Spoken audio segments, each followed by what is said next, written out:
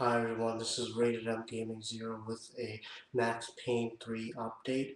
Yes, it has been delayed from March to May 15th North America and May 18th Europe.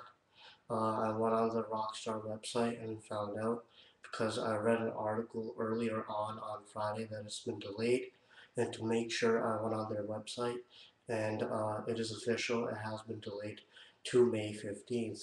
Uh, I also read on an article the main reason for this is because uh, when Rockstar uh, released uh, LA Noire, they did not make that much money and they were disappointed on it, so they decided to release Max Payne 3 in March because there are apparently not that many great games coming out at that time, and that's why they have delayed it and they're going to release Max Payne 3 on May 15th. Uh, so if you have pre-ordered the game, you don't have to worry about anything. Your pre-order is good un until the new release date, which is on May 15th. And uh, yeah, guys, that was just an update on Max Payne 3 delayed.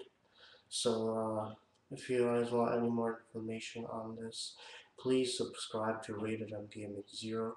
Have a great rest of your day, and I'm looking forward uh, for a triumphant return of Max Payne on May 15th.